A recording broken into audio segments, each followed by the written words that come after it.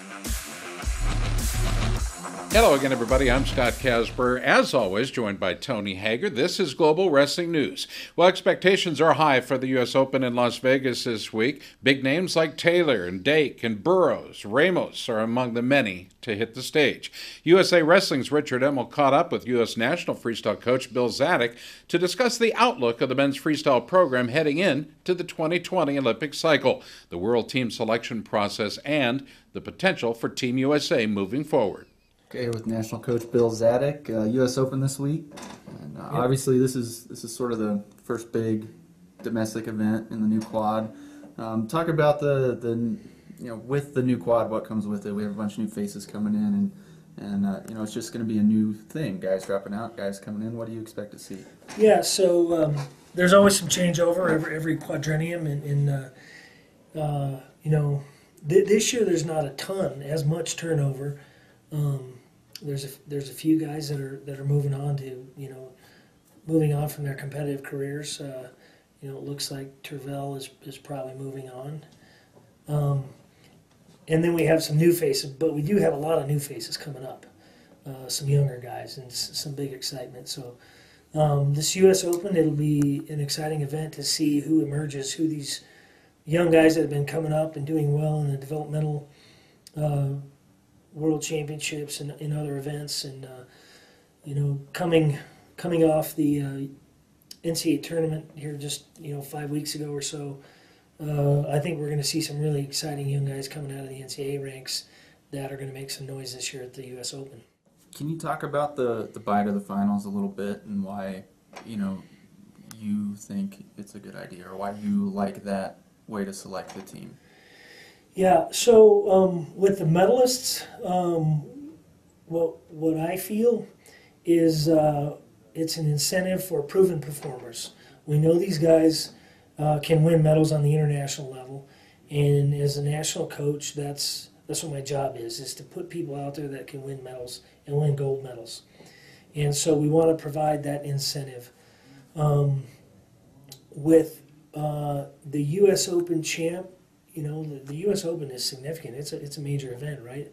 Open tournament, you're gonna, you know, have anywhere from maybe as little as the high 20s or low 30s to maybe 40 or 50 in a bracket, depending on on, on where you fall and what weight category. So uh, th- those winners are going to have to come through a hard fought tournament, and so earning that buy is is an opportunity to give them a leg up and a reward for coming through a tough field, but it's also not picking the team. It's uh, you know we've had several guys I believe you know like probably our most recent is Tony Ramos in uh, 2014 came through the mini tournament and then made made the world team in that year. And so so it it can be done and so uh, part of it is to provide some incentive and some reward to uh, our proven performers, and, and, and the other side is to give an opportunity for uh, maybe a, uh, on paper an underdog to come through and still have a, a good shot to make the team if, if, if they're if they're proficient, right? Again, mm-hmm. it's it's um, there's a high level of uh, of technical demand there to, to be good enough to to come through a field like that. And so, uh, you know, I'm open minded. I, I, know we know how other countries do it. We know that uh, there's other countries that have very good teams. Um, they have different societies and a lot of a lot of uh, situations. You know, Russians and Eastern Europeans and Iranians. The, the coach has more influence to pick the team and actually select athletes. I don't know if that necessarily is great in our culture in our society, but um, I do believe in uh, dangling the carrot so there's incentive for guys to compete hard and that our process is reflective of what it takes to win a medal. So our process is set up um, so that somebody is going to have to win four or five tough matches in a row to make the team, which is exactly what you're going to have to do to win a medal at the World Championships or the Olympic Games. You're going to have to win four or five tough matches in a day, and uh, and so that's kind of the philosophy behind our process. Up next, Hager gives his picks to win the U.S. Open thanks to Fairway Food Stores.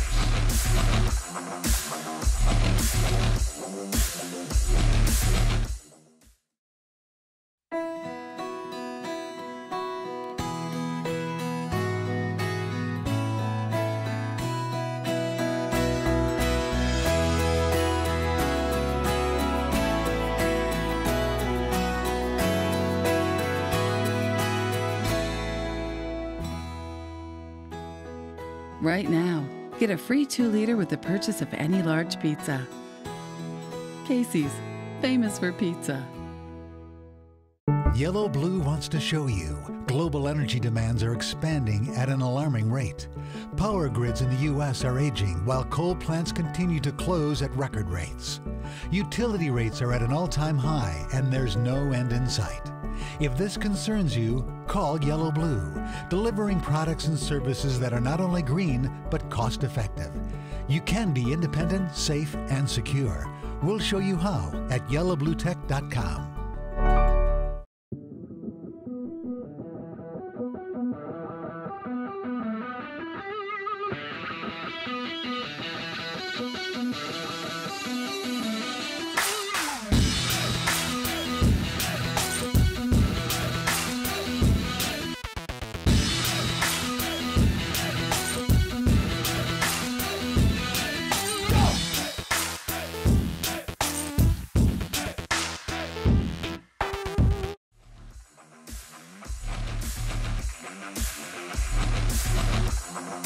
Okay, so it's the biggest wrestling event since NCAA's. It's the U.S. Open. I'm pumped to see our best athletes compete. Tony, hit me with your favorites, the must sees. Well, let's start at 57 kilograms. It's hard to bet against Tony Ramos on American soil. Dan Dennis really shocked the wrestling world coming back from off the mountains to, to knock off Tony Ramos. But you know, so he's a he's a big favorite here. Nico Mega Megaludis, though, you know, he's been wrestling lights out. He's been wrestling on the international scene, take up take down some of the best competition right. that we've seen internationally. So Tony Ramos, Nico Megaludis, there's lots of guys at 57. So, but all eyes probably gonna be on Tony Ramos. What about Logan Stieber at 61? He's out since he has a bye, right? He's got a bye to the World Team Trials Finals in June. Who do you like it this way? Yeah, this weight class will have some new faces um, at the top, but uh, not names that you probably haven't, you know, heard of, I guess. You know, Jason Ness is like a guy that's massive at this weight class. Really Kendrick Maple, Joe Colon now has a new home at Grandview. Has a little bit more competition in the room, so it's going to be interesting to see how he's transitioned. Um, so I think uh, those three names will be guys that will contend for this spot. All right, Frank Molinaro shocked the world when he took the Olympic spot at 65. Could he win the trials and not win the Open? I, I don't think so. I mean, I, I feel like I'm always picking against uh, Frank Molinaro. Yeah, what's up with that? Yeah, I mean, I feel like I'm always I am I am always going against him. But Zain Retherford is going to be in this class. Uh, Jordan Oliver um, also is going to be in this class, and I, I, just feel like you know now is his time. You know, Metcalf has always been kind of like in his head, and he's gone now. So Jordan Oliver, I think, is going to maybe. Uh, ruffle some feathers, but Zain Retherford could be the guy that's going to knock off Molinaro. Teammates Pennsylvania, so it'll be it'll be interesting. All right, seventy kilos has a big favorite. That's James Green. Can anybody challenge him? Hey, Jason Nolf is registered, a big name, obviously NCAA wrestling. Jason Chamberlain is there Ooh. too as well. So uh, James Green is, I think it's this is really his to lose. I mean, I'd be shocked if Nolf came in there and knocked him off. Green is this, this is his weight class where he feels comfortable. So I'm obviously picking James Green, big favorite here. Chamberlain, watch for Chamberlain to uh, light some fireworks out there. 74 kilos, the big one. Burroughs, Dake, likely to meet. Who you taking? Man, you you want to pick you want to pick Burroughs here, but you have to think when is Kyle Dake's time to take him down? I mean, he's going from 86 downs and he's going to be huge. So another new weight class for him. You know, he's tested Burroughs before multiple times, and uh, you know, I'm. Uh, I'm hesitant though to pick Dake just because of just the storyline. I think Burroughs, you know, comes back from after the Olympics and refocuses and just gets the job done. Jordan Burroughs. Jordan. Okay, I was waiting. It took you what five minutes to arrive yeah. at that decision. Jordan Burroughs. All right. 96 kilos, wide open, no Kyle Snyder, no Jake Varner. Who you got here? This is a weird weight class for me. I mean, Kyven Gadson's in there. He, I believe he's out training with the Sunkist kids now. And, you know, JT Felix, he's there. Justin Kilgore, um, also, um, that's a, that's a guy that you need to look out for. Kilgore. I mean, I think uh, you're saying Dustin Kilgore. Right? Dustin Kilgore. Right. So I think biggest biggest reason of our best reason why I'm picking um, Kyven Gadson. I think uh, based off of where these are guys are going to fall in the in the, uh, the tournament bracket, I'm going to pick Kyven Gadson. And he's been training at elevation as Kilgore. I think he's out at the Air Force uh, Academy out in Colorado Springs. All right, sad to see Tervel Dlagnev not strapping up the singlet again, but we have some wrestlers ready to fill his shoes. Yeah, well, it's going to be tough to fill those shoes. Dlagnev has just really owned this spot for so long, but a guy that I feel is – primed and ready. Gwiazdowski, Nick Gwiazdowski, NC State. Um, he took down Olympic silver medalist earlier. He, t- he ended up losing to him um, earlier here, the most recent uh, matchup between those two. But um, you know, Zach Rey is a guy at this weight class that Yeah. always seems to be kind of on the bubble, but just can't get it done in international competition. Not flashy, doesn't take risky moves. Don't forget also Tony Nelson's now at this weight class, so there's guys like Dom Bradley, back. Bobby Telford could be in the mix. So the semifinals of this weight class is probably going to be the most exciting to watch. Oh, it's going to be fun. Hey, we got to take a quick time out. Look for our continued coverage from the U.S. Open on TakedownWrestle.com. Up next, Isaiah Martinez speaks out for the first time since losing in the NCAA's. This portion brought to you by Powerade.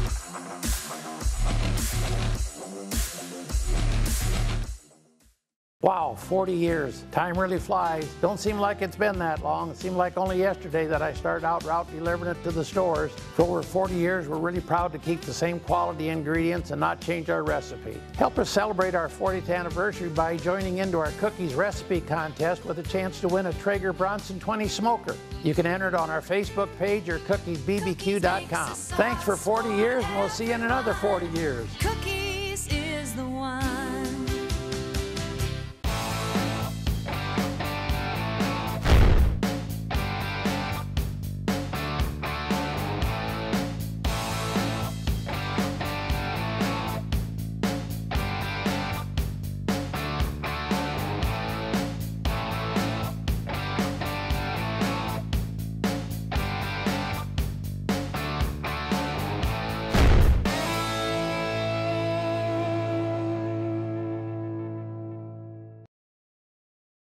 What's up, guys? I want to tell you about a new product that I am extremely excited about. It is the Pure and Clean Sports Skin Defense. It comes in a 16 ounce spray bottle and it comes in a little bitty travel size spray bottles. I have one of these, throw it in my bag, go straight to the gym. A lot of these gyms I train at, whether it be boxing, wrestling, kickboxing, grappling, strength and conditioning, it all has bacteria floating around. They all have viruses floating around. They all have fungus floating around.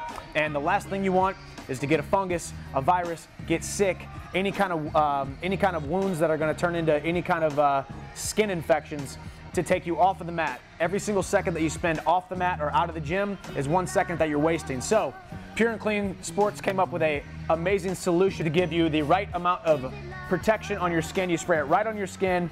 Stay pure, stay clean. Checking them out. PureAndCleanSports.com.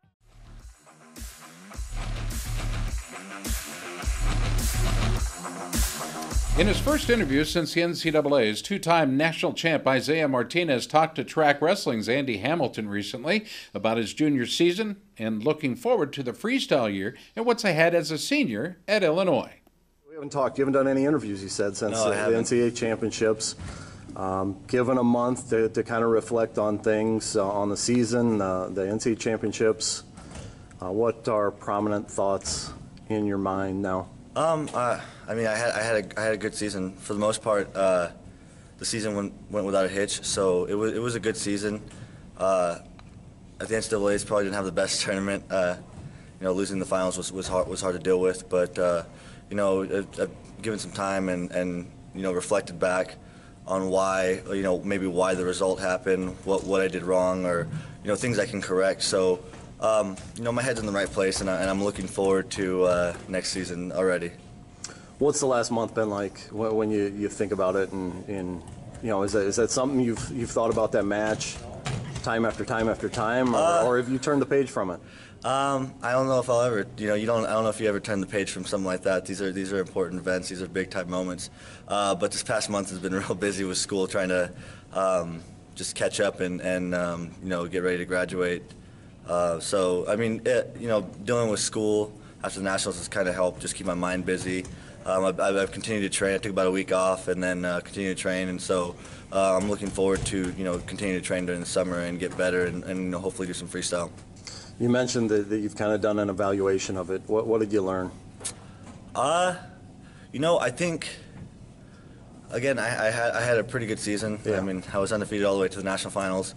Um, you know, I think you know I, I definitely did some things wrong uh, but you know he also had a phenomenal tournament. Uh, you know Vincenzo Joseph, he he had a great tournament, and uh, you know it was it was it was a combination of a lot of things. You know I had a, I had a bad tournament, bad match, and he wrestled a phenomenal tournament, phenomenal match. So. Uh, you know things like that happen. It's life. They happen. Sometimes they don't. They don't uh, go the way you want them to. But I, I mean, you know, I feel I feel good about it because you know something great always comes out of things like this. So I, am um, really looking forward to um, know what's next. Yeah, you tweeted. Uh, I think the next morning, nobody, or maybe that night, even nobody gets out of this game unscathed. I think uh, were the words that, yeah. that you wrote. Um, you were halfway to four. Yeah. Uh, is that hard to let go of? Uh, I mean, yeah, yes and no. Yes and no. Uh, you know, I've always been a guy that I think uh, set myself up for the, for the biggest goals, the grandiosa, the you know the finale. But um, you know, I'm also very human, so uh, I think it happens. Um, you know, I'll, I'll, be moving forward, and I think I'll be even better next year.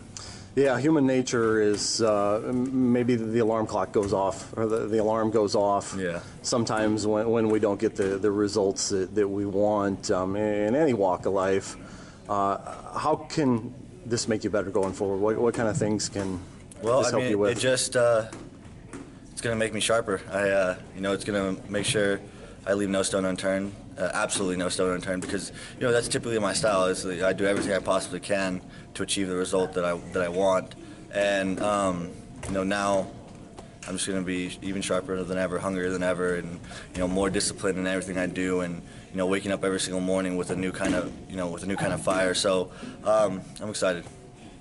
165 again next year? Yeah, most likely. Yeah, I don't see myself moving from there.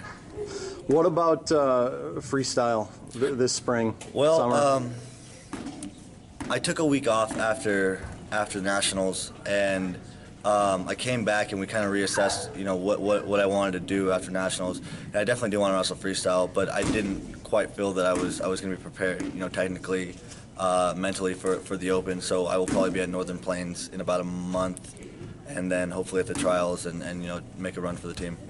What are you going to work on right now? I mean, what are what are things that uh, you feel are, are at the top of the list of things that, that you want to get accomplished here before Northern Plains and, and making a run at the World Team Trials? Uh, just just getting getting as good as possible in, in freestyle. Um, that's the new focus. Um, you know, parterre. Uh, you know, transitioning attacks uh, feet to back on on uh, on my shots. So, I'm um, just trying to trying to transition to a freestyle mindset, um, an attack mindset, I guess. Uh, I mean, I've always had an attack mindset, but in freestyle, you know, points go up so much faster. So uh, I think being being ready right off the whistle is, is a big deal in freestyle. So I'm kind of uh, molding myself to, to get ready for international competition. All right, Tony, takeaways from Imar's interview. I mean, this is pretty much how you would expect Isaiah Martinez to respond. I mean, he's got a level head on his, his shoulders, I feel like. Always really cool, calm, and collective. And I think you know freestyle you know will be interesting for him because yep. he he's kind of a guy for me that I feel like's got a really good defense, but he's not willing to take that big risky move. Not a ton of firepower when it comes to his offense. He does when he pulls the trigger, so he's just going to have to change that mindset from folk style to freestyle. I'm not sure if he's there yet. And go on the offense. Sometimes our defeats prepare us for bigger things in the future everybody in the sport of wrestling has a weakness. It's proven out week in, week out, every match. All right, time for a quick timeout right here on Global Wrestling News. Up next, quick hits from around the sport brought to you by Cookies Barbecue Sauce.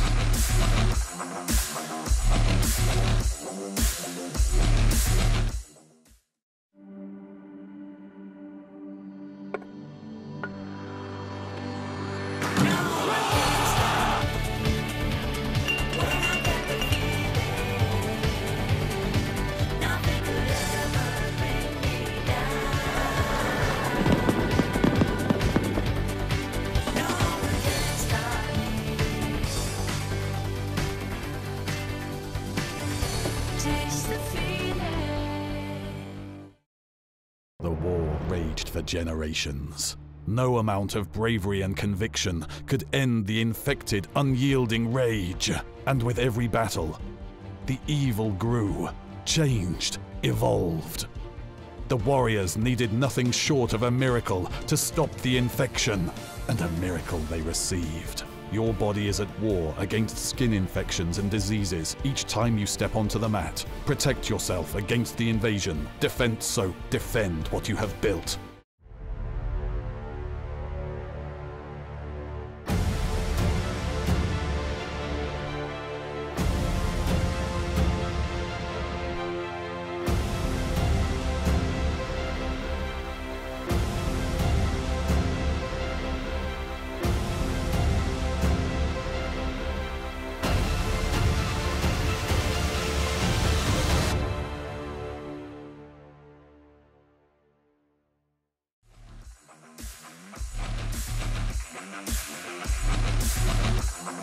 For the fifth consecutive year, Helen Maroulis will be in action at the Beat the Streets event in New York City. Competing at her new weight of 58 kilos, Maroulis will face 2014 world champ Chiho Hamada of Japan.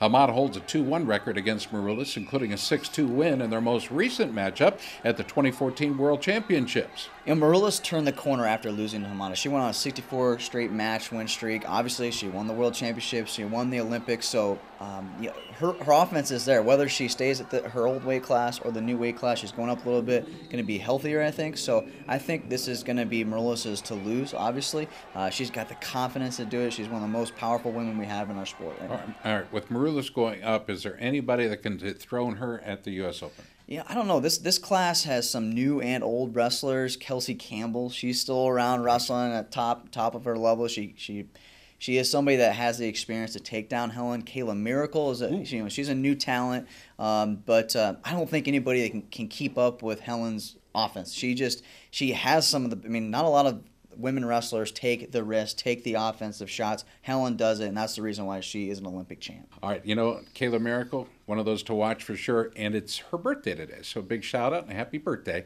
to Kayla Miracle. Virginia Tech senior Zach Epperly will not compete for the Hokies next year. The two time All American will graduate next month and has accepted a position on the coaching staff at Cave Spring High School in Virginia. Yeah, this is a big, big surprise for me. I mean, he has the ability to go to graduate school. She got another year to compete, but you know, not everybody has the same dreams as maybe you think that they have. I guess. So I think you know maybe his mindset is with you know with Dresser moving on, maybe it's time for him to move on, turn the page in his career, and he just wants to get there. He's graduating, he's done with school, and uh, he just wants to get into his you know coaching career. Is it possibly just wants to be done with school for a while? Well, school and wrestling. I mean, it's a it's a it's it's a huge um, toll on the body. So maybe just be, wants to be done. All right, they were already losing Ty Walz and Joey Dance to graduation. Now you add Epperly. That's a lot of points to make up. They will absolutely have to start rebuilding. They need to concentrate on their red shirts and their incoming recruits. I've been hearing some rumors that we might be seeing some transfers. One big name, but uh, it's not 100% sure yet. So Virginia Tech, they definitely need to you know, put put a lot of stock into keeping those red shirts and incoming recruits. All right, the NCAA Rules Committee has recommended several changes. Let's start with the video review process. I think we can all agree that officials should not be evaluating their own calls. Yeah, this is a no-brainer. Now, if the, the person reviewing the, the officials call is also official, I think that is going to be a big problem as well because a lot of these officials they travel together, they're friends, so we need to have a third party company come in there that don't have any relationships with these officials um, to, to make this happen. Otherwise, we're going to be in the same kind of problem we are. I mean, the same official isn't overturning his own call, but it's still some guy that you shake hands, you know, have a drink with, go out to dinner with. It's just it's just still different. All right, optional headgear, good or bad? Hundred percent. I think this should be an option. I think the headgear really, until they have a way to combat concussions, they're really kind of pointless in my mind because when you're tugging on the headgear, it actually it, it's worse on your ears. I, I didn't have cauliflower ear until I got to college because we were mandated to wear the headgear in practice, and it made my ears flame up. So maybe it's because I got, took a beating. I'm not really sure, but it seemed like it was almost made it worse. Oh, so don't undersell yourself. You were good. All right, this one's a little harder for me to understand. Penalizing wrestlers who violate weight management protocols.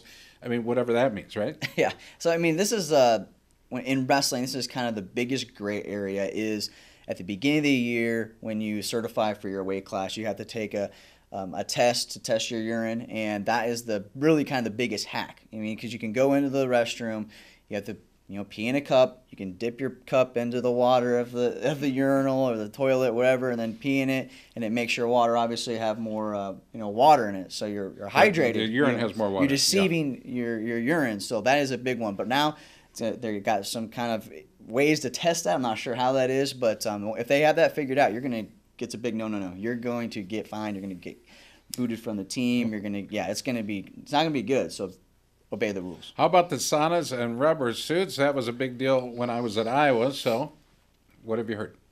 Yeah, I mean, there's this is still a no-no. Obviously, I think the biggest thing that you know with this rule, coaches really have always kind of just if I don't know about it, it's okay. Um, but you, they if they literally have any kind of idea this is going on, now they are going to get penalized. They're going to be ineligible. They can't be on the on the mat coaching, probably in the practice room as well. So this is a, and administrators as well, not just the coaches, the administrators too. So this is definitely something they're going to have to police. All right, Tony, we're out of time. Tune in next week for a full breakdown of the U.S. Open and World Team Trials. I'm Scott Casper along with Tony Hager and all of us here in Des Moines. Thanks for watching. We'll see you next week for Global Wrestling News.